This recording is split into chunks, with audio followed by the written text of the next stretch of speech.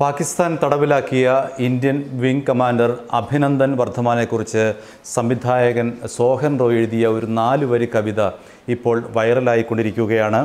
പോയട്രോൾ എന്ന വിഭാഗത്തിലാണ് ഇദ്ദേഹം ഇത്തരമൊരു കവിത എഴുതുന്നത്. സോഹൻ റോയ് ആനുകാലിക വിഷയങ്ങളെക്കുറിച്ച് അതാത് ദിവസങ്ങളിൽ പോയട്രോൾ വഴി നാല് വരി കവിത എഴുതാറുണ്ട്. അത്തരത്തിലുള്ളൊരു കവിതയാണ് അഭിനന്ദനം എന്ന പേരിൽ ഇപ്പോൾ വൈറലാകുന്നത്. അഭിനന്ദനത്തിന്റെ അഭി എന്നുള്ളത് അഭിനന്ദൻ വർദ്ധമാനെക്കുറിച്ചുള്ള വർദ്ധമാനെ കുറിച്ചുള്ള അദ്ദേഹത്തിന്റെ പേരിന്റെ രണ്ട് അക്ഷരം. അത് പ്രത്യേകം അഭിനന്ദനം എന്നാണ് ആ കവിതയുടെ പേര്.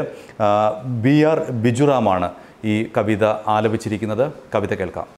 അഭിനന്ദനം.